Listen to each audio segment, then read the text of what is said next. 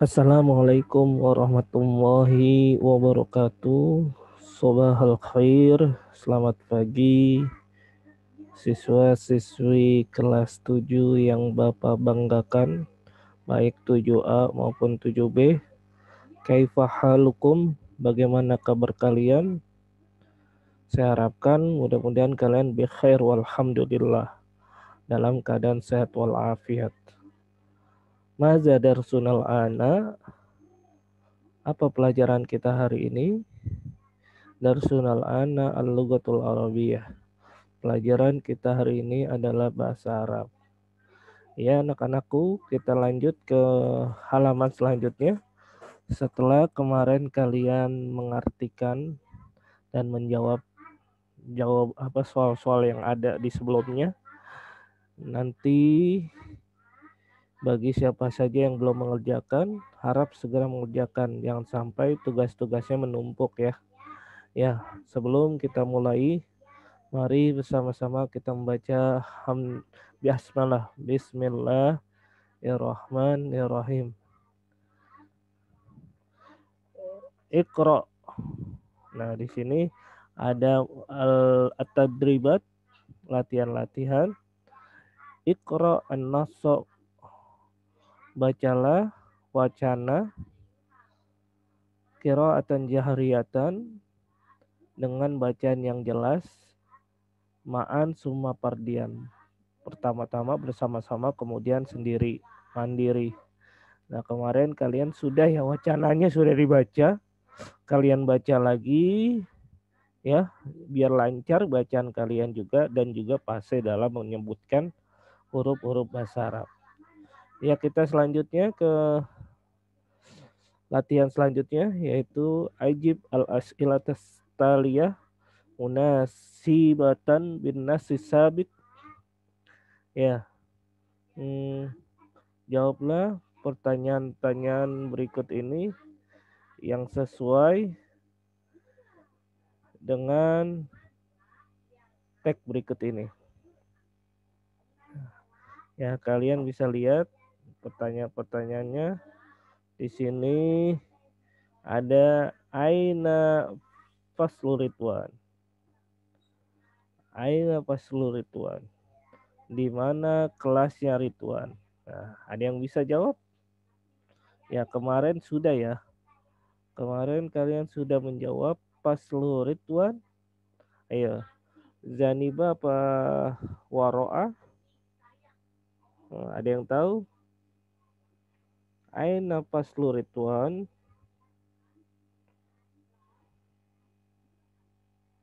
Nah, di situ faslu Ridwan adalah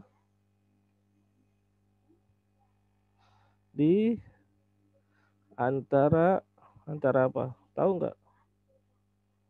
Pas faslu Ridwan adalah di samping diwan dan dekat dengan madrasah.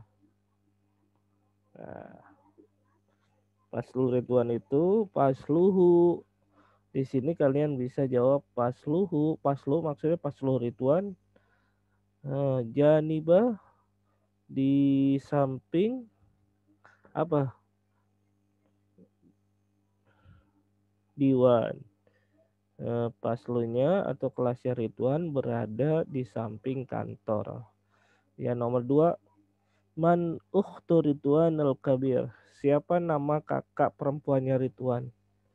Siapa kemarin? Uhtu Ridwan Kabir. Hia Laila. Laila Uhtu Ridwan Kabir. Aina Laila? Di mana Laila? Kemarin ada tagnya kalian lihat sebelahnya. Yaitu Laila ama Pasli. Dia berdiri di depan kelasku di depan kelasku kata Ridwan. Hal paslu laila bainal ma'mal wal maktab wal maktabah. Apakah kelas Laila di antara lab dan perpustakaan? Naam, iya, paslu Laila bainal ma'mal di antara lab dan perpustakaan. Lalu aina paslu fatir di mana Faslu Fatir Pasluhu baina musola wa gurfatul mudarisin. Kelasnya patir berada bainal musola di antara musola wa gurfatul mudarisin dan dekat dengan ruang guru. Ya, selanjutnya di sini ada wacana teks kita baca dulu bersama-sama ya. Bismillahirrahmanirrahim. Al-hiwarul awal. Zainab. Naharuka Sa'id. Hamidah. Sa'idun Mubarak. Zainab. Aina fasluka? Hamidah. Fasli huna. Wa aina fasluki? Zainab menjawab, Fasli hunaka. Ilal liqa. Hamidah menjawab, Ma'assalamah. Ya, sekali lagi kita baca Al-Hiwarul Awal. Zainab Naharuka Sa'id Hamidah Sa'idun Mubarak Zainab Aina Pasluki Hamidah Pasli huna wa aina pasluki Zainab pasli hunaka il ilal liqa. Hamidah menjawab ma'as salamah. Ya coba dilihat lagi kita artikan al-hiwar. Al-hiwar itu artinya percakapan pertama. Al-hiwarul awal percakapan pertama yaitu antara Zainab dan Hamidah. Zainab berkata, Naharuki Said.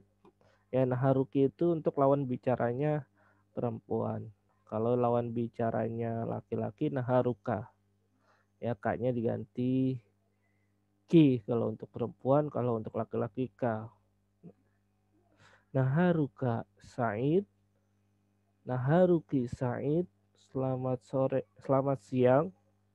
Hamidah menjawab Sa'idun Mubarak. Selamat siang juga. Zainab berkata, Aina pasluki? Di mana kelasmu? Hamidah menjawab, Pasli huna. Kelasku di sini. Wa aina pasluki? Dan di mana kelasmu? Zainab menjawab, Pasli kelasku hunaka di sana. Ilaliko sampai jumpa. Hamidah Ma'assalamah. Semoga selamat. Ya sudah paham ya. Ini kalian tulis nih Arab dan artinya.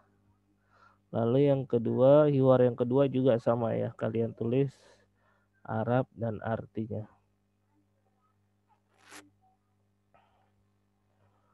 Al-hiwaru sani Hamidun ahlan wa sahlan. Fahmi ahlan bika. Hamidun ahadihi madrasatuka. Fahmi Naam hazi madrasati. Hamid ahadi madrasatu Ali. Naam hadi madrasatuhu. Saya ulang lagi. Al-hiwarusani. Hamid. Ahlan wa sahlan. Fahmi ahlan bik. Hamid ahadi madrasatuka. Fahmi. Naam hadi madrasati. Hamid. Ahadihi madrasatu Ali. Fahmi. Naam. Hadi madrasatu. Nah, al-hiwarusani. Nah, percakapan yang kedua. Hamid berkata, ahlan wa sahlan. Selamat datang. Fahmi menjawab, selamat datang juga. Hamid berkata, ahadi madrasatuka. Nah, disampaikan ada gambar foto tuh. Kata Hamid, apakah ini sekolahmu? Muni apa kamu laki-laki ya? Karena lawan bicara Hamid itu laki-laki. Lalu Fahmi menjawab, Naam, hadi madrasati. Iya, ini sekolahku. Nah, penggunaan hadhi ini kalau dia madrasatun ya, yang ada tak marbutonya di belakangnya. Tapi kalau misalnya dia kolamun, kolamun kan nggak ada tak marbutonya di belakangnya. Itu pakainya haza. Ahada kolamu Ali. Apakah ini pulpennya Ali misalnya gitu. Nah ini di sini tadi pahami, iya ini sekolahku.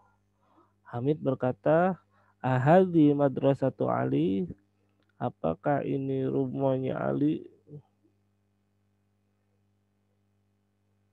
Ya, apakah ini sekolahnya Ali? Pahami, iya, ini sekolahnya. Pahami, iya, ini sekolahnya. Kita lanjut ke ini nanti kalian kerjakan ditulis ya lalu dipotokan dengan foto selfie ke WA Panapis. Jangan sampai tidak karena jadi tiga tugas ya. Minggu tanggal eh Rabu kemarin tanggal 6 lalu dilanjutkan 13 Januari dan sekarang tanggal 20 Januari. Ya, kita lanjut. Nah, ini materi selanjutnya.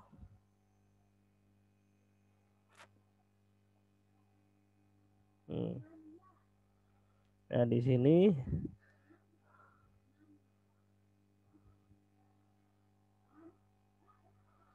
ada contoh ya. Kalian lihat. Hamidun ahadihi madrasatuka. Apakah ini sekolahmu? Nah, kalau kita jawabannya iya, berarti naam. Naam.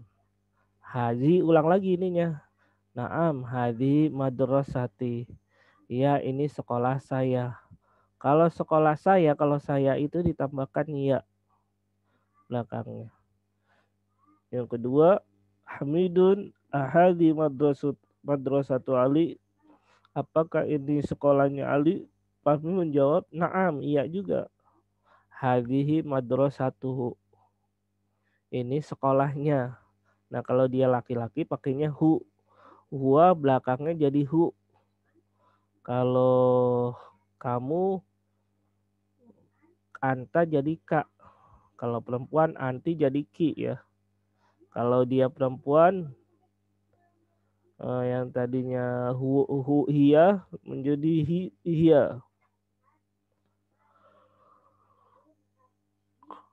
Iya, dia perempuan.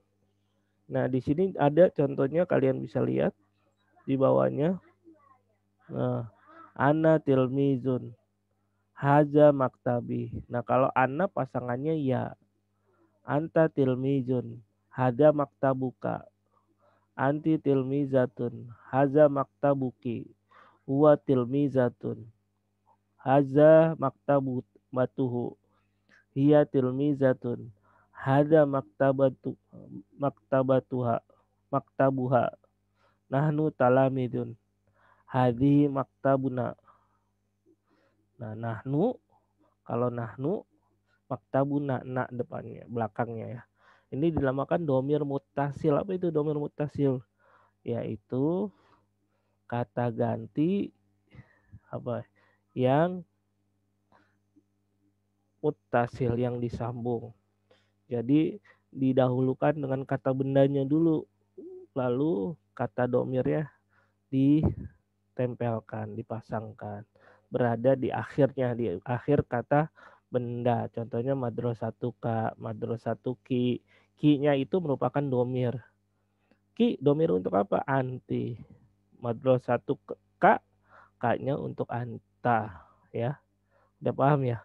Terima kasih, selamat belajar. Mohon maaf apabila ada kekurangan. Ingat tugasnya ya minggu ini tanggal 20 adalah kalian kerjakan tadi yang hal hiwar, kalian catat baik Arab maupun tulisan. Ya. Terima kasih, selamat belajar. Mari kita akhiri dengan membaca hamdalah. Alhamdulillahirabbil alamin. Wassalamualaikum warahmatullahi wabarakatuh.